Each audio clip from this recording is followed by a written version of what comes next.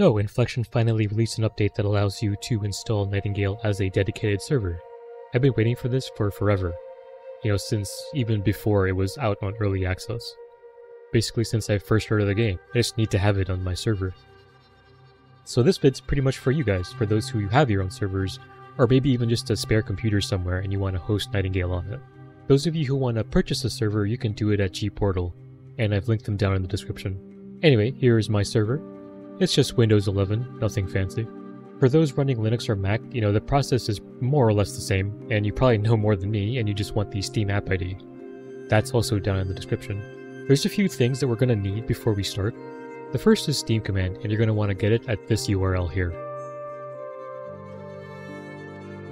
In contents, it shows which OSs it can be installed on. Just click whichever one you're using. For Windows, it's pretty easy. You just download a zip and then put that into some folder somewhere. Linux people, you get to use a repo. I unzipped all my files here in this specific folder called Steam command straight off the C drive. It just needs to be pretty easy to access. You're also going to want a specific folder where you install this. I've put mine under C drive servers.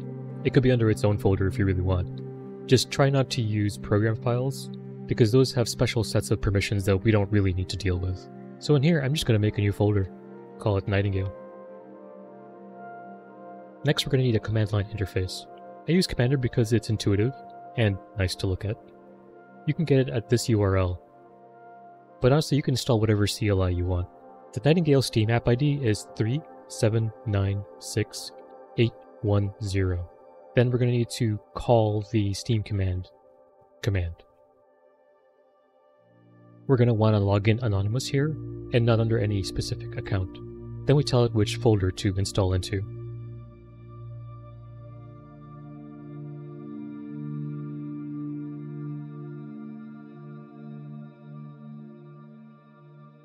Then we plug in the Nightingale app ID here.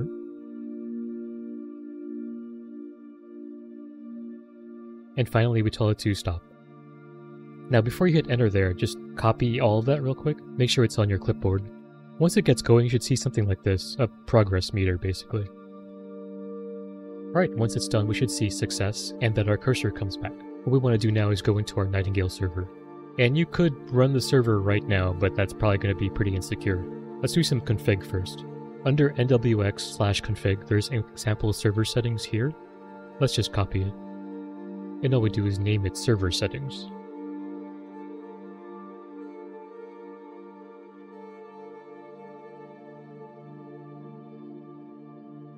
You can now open this up in your favorite text editor. Like you could use Notepad if you want. I personally like Sublime Text.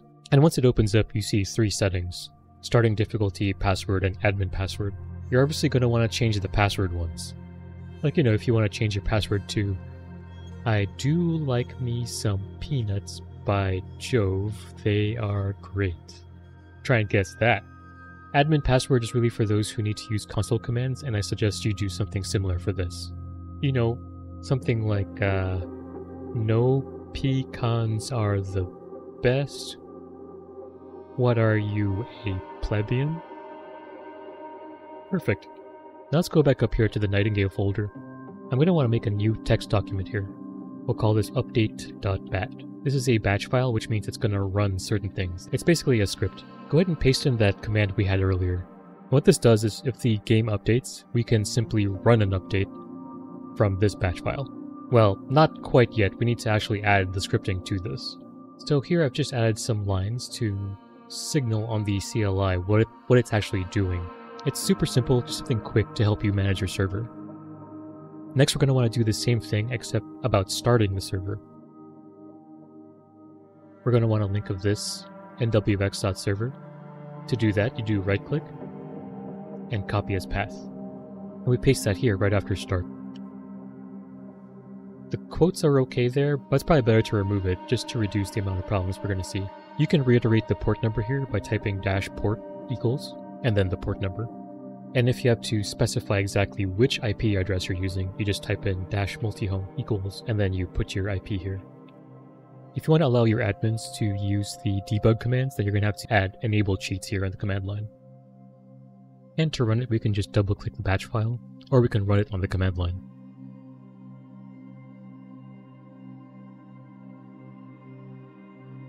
So what we're going to want to do now is open up Nightingale. If you haven't already downloaded your characters, you should probably do that now. Then we simply go and play whatever character we want on our server. All we do is join the game. And instead of going to a Steam friend, we're going to be connecting directly to an IP address. You can figure out what your IP address is by going to whatsmyip.com. And then we just type in whatever password we've got set. Oh, and if it takes a while for you to log into the game, I just recommend a little patience, because your server has to do a lot of stuff. It's got to download the files, it's got to process them however it needs to. It should only take a few minutes. If you do run into connection problems though, like it, keeps throwing you like a network error or something, it might be because you have to do some configuration on your router. Might also want to add the port to your IP tables or to Windows Defender. Well, here we are. The game in our server. Isn't that cool? I mean, it's not on some server way out in nowhere, right? But also, we're going to play a little bit later. We just wanted to kind of log in and see if things are working alright. And they seem to be. For now, we need to go back into the server just to do some final stuff. So let's quit out. Honestly, all we're going to do is just to make sure that our character actually got downloaded. To do that, we go back to our Nightingale folder, into NWX, saved, and then offline. And this string of numbers is the server instance. You could take this entire offline folder and save it like and back it up somewhere. I mean, I know they make their own offline backup, but you can also make your own. And you can also you can make another batch file that that just saves your profile. And so far that's it. That's all you really need to know. They may change it in the future so that you can set server names, and then that way they can show which actual servers are up there, and what people can, can join, whatever. Otherwise, you give people your IP address, the port number, and the server password, and that's all they need to connect to you.